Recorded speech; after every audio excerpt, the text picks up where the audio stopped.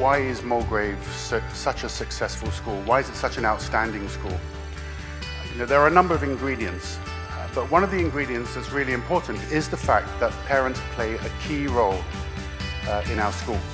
Our families, our parents are the lifeblood of this community. Yes, I, I have volunteered for seven years. Parents are an essential part of our community and they're essential partners with us in the education of their children. We view education as a moral undertaking. We work with children. We consider that to be a calling, not a profession.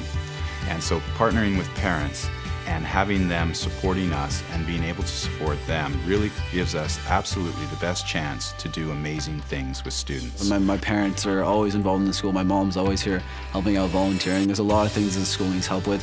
And I think having that community and this idea of that we're all in it together really helps, especially for the students. It's really for our parents to feel and touch this environment and then to, to feel and touch what our kids feel and touch every day. The Mulgrave School encourages students to achieve their personal best on both the learning and the life. So even for me, I'm a full-time mommy, but I'm still doing something benefits our community. Anything that you have time to do, even if it's just sending emails, you're still connecting with the parent body, and uh, it makes it more meaningful, more meaningful experience for the whole family.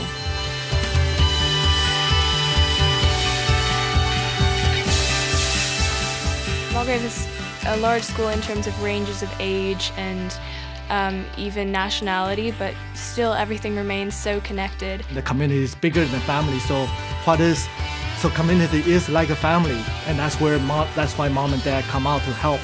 Community within a community. The school, something magic happens in the school. It's what allows us to be successful.